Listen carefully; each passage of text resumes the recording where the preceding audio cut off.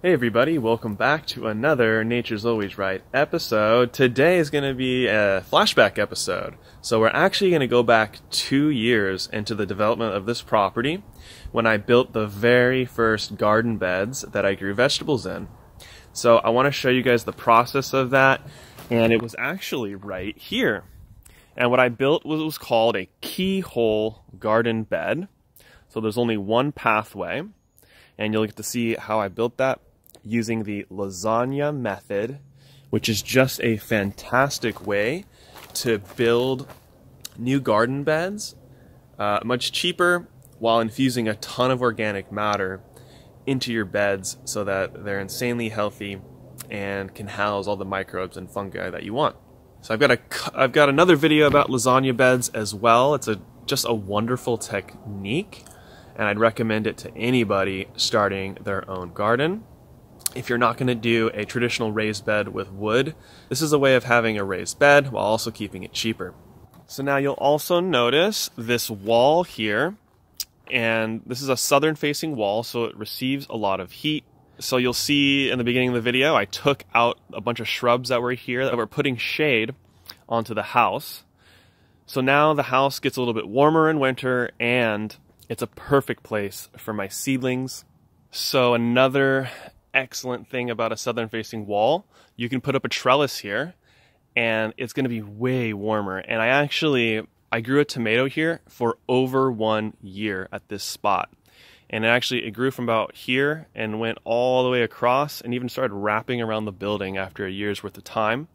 And the only, the main reason I was able to do that is because we don't really get hard frost here in Lemon Grove and the heat against this wall, especially because it's brick, so it holds heat longer into the night. Another thing to consider with southern facing walls, they are great trellis points and places that have um, warmer microclimates. So now you might be asking, why is this black tarp on the ground? And that's because I'm going to be building a bootstrap farmer 10 by 20 foot greenhouse.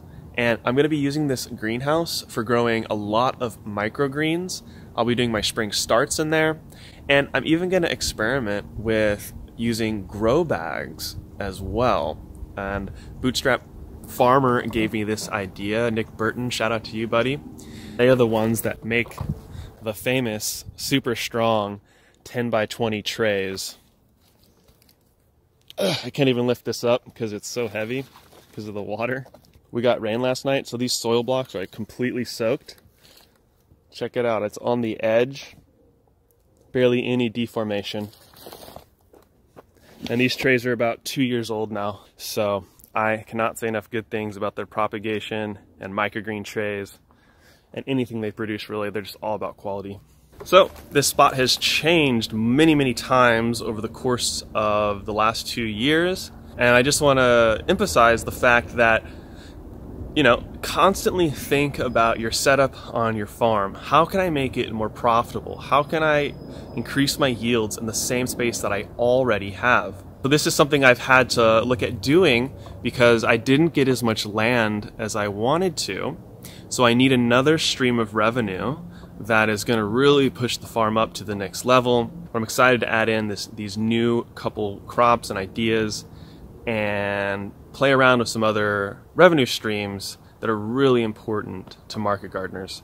So I'm excited to show you guys that whole process, how I build the greenhouse, and how I'm going to be using the greenhouse as a new system here for starting plants and creating a lot more revenue for the farm. So a lot of this footage is about two years old, so bear with me. It is really cool to see how much uh, I've improved making my videos. In this one, I'm going to show you all about how I built these beds, and then I'm to do another video about how I planted it. These videos are really more about helping gardeners, just home gardeners.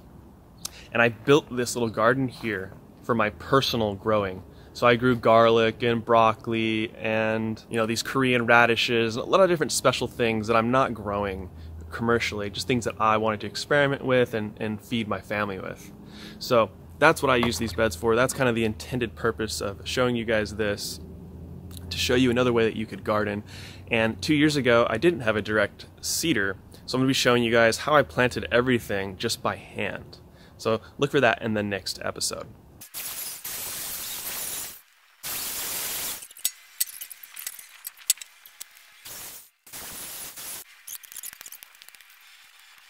All right, it's time to start on the first garden bed. I'm going to be using the lasagna method for this, layering straw, cardboard, some of my finished compost that I bought, which is chicken and rabbit manure, um, and then I'm going to be adding in my uh, couple compost piles. One of them's finished, the other is, you know, three-fourths of the way finished.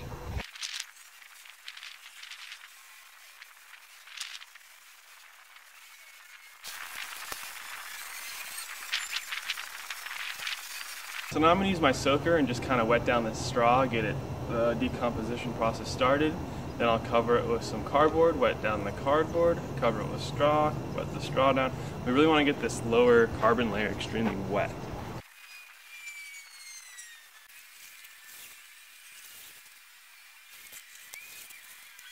That layer of cardboard um, is going to provide organic matter and that cardboard is going to snuff out any weed seeds that sprout underneath it.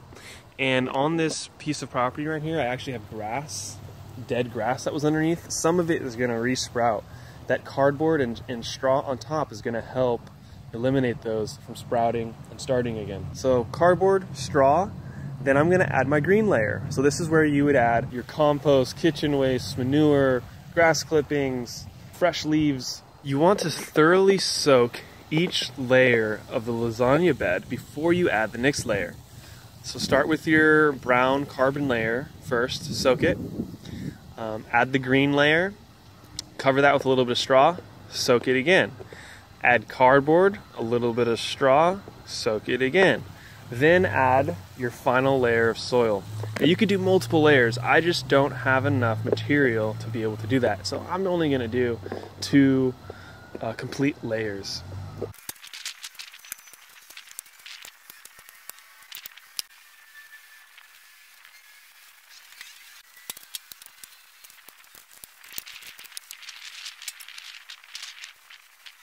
So now you can see the bed is starting to take shape. And now I'm not building a traditional bed. It's gonna be a keyhole bed just to maximize the square footage in this area. So where you see the straw there, that's gonna be my pathway and that will be my entrance. And I'm gonna have uh, two four foot beds. And then, you know, you could have an opening here. I'm gonna save, you know, what is it, four square feet. So that's four square feet extra of growing area, why not? Let's add the straw next. Little layer of straw on top of this, and then we're gonna cover it with a layer of cardboard. So the pitchfork offers the best tool and technique for ripping apart straw. Um, I've divided it into separate bales. If you just sh shove it in, twist and shake,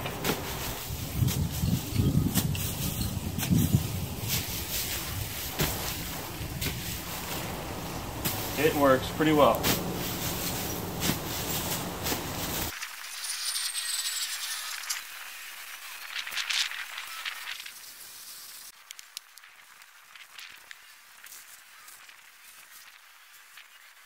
And then I'm going to add worm castings and soil.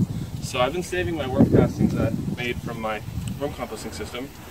I've been saving it all this time. So I'm excited to throw it in there. I'm going to throw in some of my worms that are working away as well, and they're to help decompose all of this. And then there's one more thing I'm to add. Going to be adding azomite, which is rock dust, which is really, really high quality um, minerals. It's like about 70 trace minerals. Um, so it's an awesome, awesome product. I'm gonna be adding it in on this lower layer um, so that it soaks through to the bottom. To my actual soil I add on top, I'm to mix in the azomite. Um, so all my soil's um, very high in minerals. I'm going to make some worm tea. Um, I've I watered in my uh, worms the other day, so I'll have a bunch of tea. And I've already put some into my bucket and it's gonna be about 10% tea to 90% water. So I'm gonna let that fill up. Then I'll be just be pouring it over uh, my garden beds here before I add my layer of garden soil. Just gonna get all of this, these bottom lit two layers just penetrated with bacteria and just wonderful things that are gonna increase the health of my soil.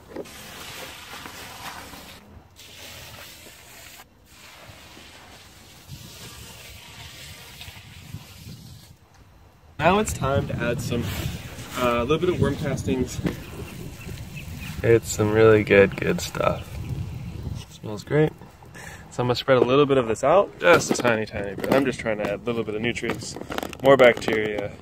So I've got my bucket of castings. Just gonna spread this out evenly.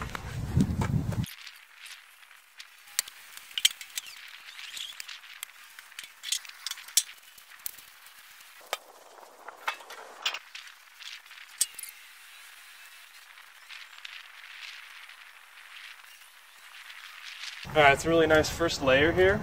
Uh, I'm gonna throw down some moisture, of course, right? We do one more round, uh, and then I'm gonna add the rest of my worm castings and then do a final layer of soil on top of that. That'll give me around six inches of depth. Um, and then I'll cover it with some straw. And I'm gonna water it throughout the week. And if the beds are gonna settle, they're gonna lower even more. And before I plant, I'll probably add in one more uh, for a final layer before I actually plant in this.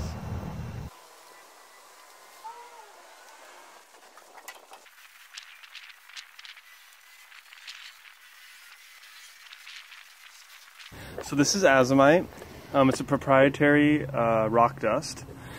Uh, this is the micronized formula. Um, and the micronized is like a very, very, very fine power powder uh, super absorbable. They also sell it in granulated and like like kind of chunky form as well, and that's sort of like long-term release. They sell this micronized version on Amazon, so it's super easy to get and it's a decent price. It's $45, and if you have Amazon Prime, free shipping. So this is gonna add a bunch of trace minerals, micronutrients for my plants. I've added two layers of soil, uh, finishing soil, and I'm gonna add it now so that um, it'll start penetrating down into the, the lower layers. And then I'm gonna, for my final layer of soil, I'm gonna mix about a cup uh, into each wheelbarrow full.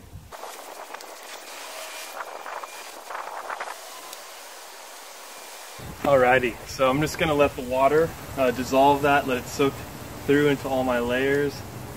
Um, gonna, it's gonna be feeding the soil life. Um, eventually, uh, my plants will be able to drink from it as well and these layers of straw and mulch and soil, compost, worm castings, uh, all these things are going to help to absorb that nutrient so I don't lose it down too deep. All right, while the while the water's going, I'm just going to get my castings out of here. So as you can see, this took about three months for my worms to do. So this is just from like eggshells and kitchen scraps, um, mulch, a little bit of compost that I added, and then they just a little bit of moisture and then they turn it into the best compost you could possibly make and they you know it's, and it's free getting a worm bank going is probably like one of the first things i'd recommend doing when you're starting a garden get this system going. Because i add tea constantly to my to my plants and garden.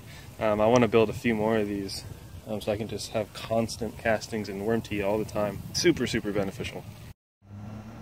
All right it's time to spread my worm castings and then I'm gonna rake in all the soil, water it in one more time, and then add a layer of straw to hold in the moisture.